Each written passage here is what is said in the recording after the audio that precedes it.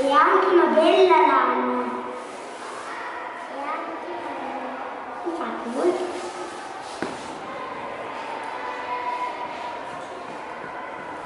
Il titolo si chiama La storia della pecora.